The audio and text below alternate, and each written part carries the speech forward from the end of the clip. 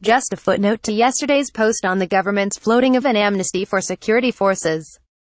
The Irish news follows up predictably enough with angry responses to what they rightly report as the adoption of the recommendation of the Commons Defence Committee report just before the general election. The committee, which includes DUP MP Gavin Robinson, said that the pursuit of members of the Crown forces was wholly oppressive and a denial of natural justice. It can be ended only by a statute of limitations. They repeat the doubtful claim that an amnesty would correct the imbalance with former paramilitaries.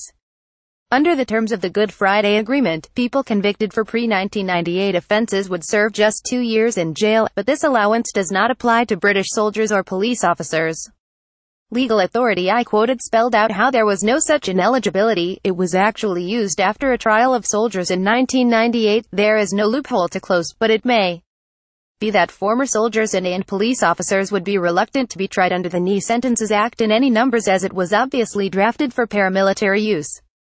However if convicted they could still apply to the sentences commissioners for early release.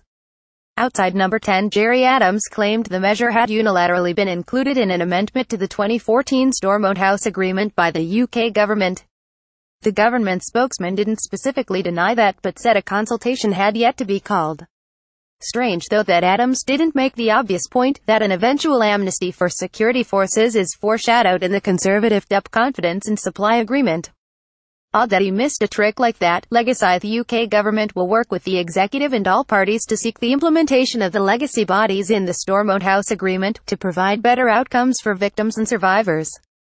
The next phase is a public consultation on implementation of the Stormont House Agreement legacy bodies.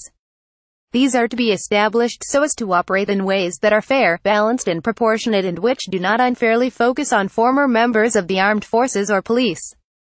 Both parties reiterate their admiration for the courage and sacrifice of the police and armed forces in upholding democracy and the rule of law and will never forget the debt of gratitude that we owe them.